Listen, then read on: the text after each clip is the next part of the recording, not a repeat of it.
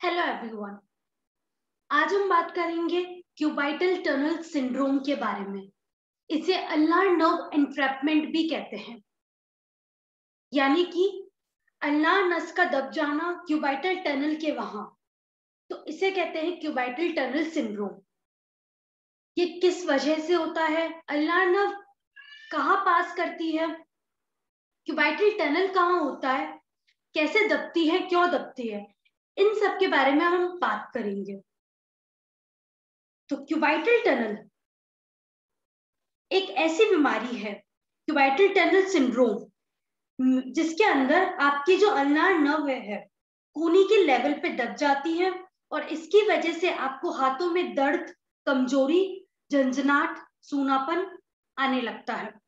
तो cubital tunnel syndrome जहाँ आप गोलाई देख रहे हो, वही है कुबाइटल टनल सिंड्रोम और यहाँ से अल्लार नस। दब गई है, उसका कंप्रेशन हो गया, वो ट्रैप हो गई है, और इसे कहते हैं अल्लार नर्व इंट्रैपमेंट अब ऐसा क्यों होता है?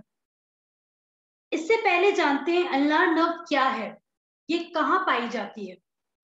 अल्लार नर्व जो है, आपकी ब्रेकियल प्लेक्सिस जो आपके गर्दन के ऊपर से निकलती है जो आपके ऊपर से गर्दन है, वहाँ से निकलती है और यहाँ से नस आती है हाथों के अंदर की तरफ़। अंदर की तरफ़ और कोनी के पीछे से, अंदर से निकलते हुए आपके हाथों को ताकत पहुंचाती है। यानी ये गर्दन से आती है और आपके हाथों तक सप्लाई करती है। तो जब इस नस का क्यूबाइटल टनल वाले हिस्से पे पिंच हो जाती है, जब कंप्रेस हो जाती है जो आपके कोनी के पीछे की तरफ़, अंदर की तरफ़ पाया जाता है। तो इसे कहते हैं क्यूबाइटल टनल सिंड्रोम तो अल्लार नस जो है, वो हमारी बहुत मुख्य नस है हमारी हाथों की। तो ये अल्लाह नर्व्स जो है, वो ब्रेकियल प्लेक्सस से निकलती है, जो ऊपर से गर्दन से निकलता है और यहाँ से नस आती है आपके हाथों में अंदर की तरफ़, कोनी के पीछे से अंदर की तरफ़ से निकलते हुए आपके हाथों तक आती है। और ये आती है आपके लिटिल फिंगर, यानी सबसे छोटी वाली उंगली और आपकी रिंग फिंगर के आधे वाले हिस्से तक, यानी अंदर की तरफ़ हाफ़ जो है आपकी रिंग फिंगर वहाँ तक ये सप्लाई करती है। तो अल्लाह नव, दो जगह दब सकती है। अगर ये कोनी पे दबती है, अल्लाह नस तो जब वो कोनी के वहाँ दबती है तो इसे कहते हैं इस बीमारी को क्यूबाइटल टनल सिंड्रोम और अगर जब यही अल्नार नस आपके कलाई के हिस्से पे दबती है, कलाई के लेवल पे दबती है। यानी कि जहाँ गायंस कैनाल पाया जाता है, जब वो उस हिस्से में, कलाई के हिस्से में वहाँ गायंस कैनाल में दबती है तो इसे कहते हैं गायंस कैनाल कंप्रेशन तो अल्लाह नस दो जगह दब सकती है, एक क्यूबाइटल टनल पे तो उसे कहा है क्यूबाइटल टनल सिंड्रोम एक गायंस कैनाल पे तो उसे कहते हैं गायंस कैनाल कंप्रेशन तो ये अजलान जब हमारे कोनी में अंदर के पीछे की तरफ़ से निकलती है। और ये इसे कहते हैं मीडियल एपिकोंडाइल जो हमारी आम बोन है ह्यूमरस उसका सबसे नीचे वाली हिस्सा। तो जब वो वहाँ से बिल्कुल निकलती है, एक छोटे से हिस्से से, एक स्पॉट से, उस स्पॉट को फनी बोन भी कहते हैं। तो वहाँ, उस फनी बोन के हिस्से में, जैसे आप देख रहे हो, वहाँ स्किन के, हमारी त्वचा के बहुत ज़्यादा करीबी होती है ये नस। जिस वजह से पेशेंट को एक अजीब सा सेंसेशन फील होता है, अगर ये यहाँ दबती है तो। तो इसे कहते हैं क्यूबाइटल टनल सिंड्रोम जैसे आप डायग्राम में देख सकते हैं, ये हमारी कोनी का जॉइंट है एल्बो जॉइंट जिसे कहते हैं। इसका पूरा स्ट्रक्चर है कि ये ऊपर वाली हड्डी है ह्यूमरस हमारी नीचे वाली हड्डी है रेडियस अल्ना और हमारी मांसपेशी आगे ऊपर बाइसेप्स मसल फिर अल्नार कोलेट्रल लिगामेंट है हमारे, अल्नार नस के पोस्टीरियर एंड इंटरमीडिएट एंटीरियर और ये यहाँ अल्नार नस निकल रही है हमारे कोनी के अंदर और पीछे वाले हिस्से से। अब, अगर आपको ये कंप्रेशन हो रहा है क्यूबाइटल टनल में तो आपके हाथों के अंदर की सतह सुन हो जाएगी। यानी हाथों के अंदर के हिस्से में और छोटी उंगली और आपकी रिंग फिंगर आधी मतलब अंदर की तरफ़ की आधी मतलब डेढ़ उंगली में ये दिक्कत देखी जाती है। ये दिक्कत अंदर की तरफ़ और बाहर की तरफ़, दोनों तरफ़ देखी जाती है। जब ये क्यूबाइटल टनल में दब जाती है, यानी कि डेढ़ उंगली में दिक्कत आती है, दर्द, सुनापन झंझनाट सुई चुभना, चीटी चलना, पिन चुभना, वैसा पेशेंट को महसूस होता है।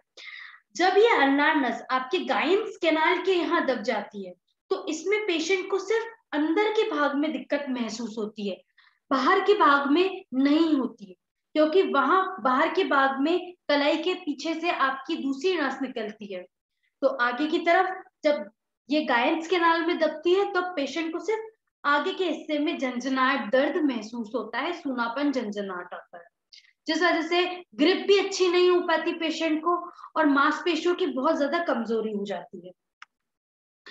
अब बात करते हैं इनके कारणों की, कि ये नस क्यों दबती है? किन कारणों की वजह से कोनी के बल पे दब जाती है क्यूबाइटल टनल में दब जाती है? तो जब हम स्टूडेंट्स जैसे जो लोग पढ़ाई करते हैं या काम ऐसा करते हैं जिसको, जिनको घंटों कोनी पे अपना हाथ रखना है कोनी के बल पे, जैसे टेबल है, कोई भी भारी सामान है, कुछ भी, उस पर आपने अपना कोनी के बल पे हाथ रख रखा तो जब घंटों आपका हाथ ऐसे रखता है तो उस जगह पे आपके कोनी के पीछे वाले हिस्से के वहाँ से जो नस है, वो दब सकती है। तो ये भी एक कारण हो सकता है। और कारण है, जब आप लंबे समय तक अपने मोबाइल फ़ोन चलाते हो या फिर लैपटॉप पे काम करते हो, कंप्यूटर पे काम करते हो, या फिर किचन पे जो लेडीज़ है, वो काम करती है करची चलाती है या आटा गूंदती है जो भी ऐसा जो काम है, बहुत ज़्यादा भारी काम। तो उसमें क्या होता है, जब आप अपने हाथों को बिल्कुल ऐसे दबा के सो जाते हो, अपने तकिए, हाथों के ऊपर तकिया रख के और दबा के सो जाते तब भी नस दब सकती है। तो इन कारणों की वजह से भी नस जब दब जाती है तो क्यूबाइडल टनल सिंड्रोम की पेशेंट को दिक्कत आती है।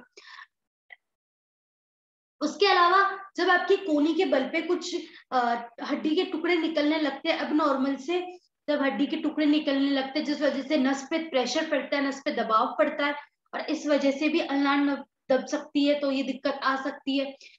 फिर अगर आपने कोनी को जब आप बहुत ज़्यादा मोड़ रहे हो, सीधा कर रहे हो, कुछ ऐसा काम कर रहे हो, जिसमें आप भारी भारी सामान उठा रहे हो, या ऊँचा ऊँचा हाथ लेके जा रहे हो कोनी का बार बार मूवमेंट कर रहे हो, तब जब ये रिपीटेड ओवर यूज़ मूवमेंट होते हैं, तब भी ये नस यहाँ कोनी के बल पे दब सकती है।